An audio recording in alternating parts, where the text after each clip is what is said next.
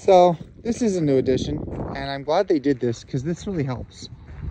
So they have Bubba's favorite wagon now with a photo op. Come on down, son. Oh, I know. Come on, let's go see the rest of the fort. We'll start with the prison. So this side of the fort, um, the fort, none of the fort is in amazing condition. Unfortunately, by the time the New Mexico Historic Sites got a hold of this, of course, being that we're all the way down here in southern New Mexico with precious resources, the folks of the valley stripped it.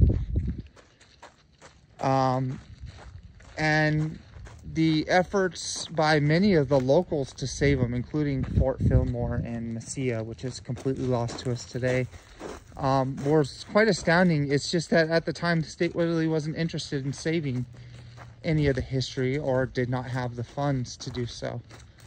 Um, what we're looking at now is actually this stone position here was once the what, Bubba?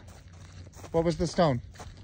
Um, It's the only part of the fort that's made of stone. What was it? um, the prisoner cells? Bam, Bubba's right. So the armory and the prison was here. Okay. And the officers' quarters are up ahead of us. So we're gonna walk straight through here, Bubs.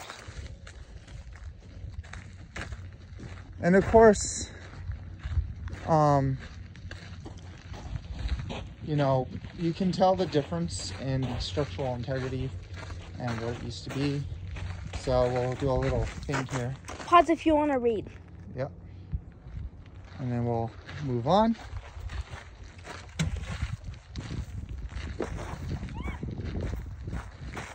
All right, cut.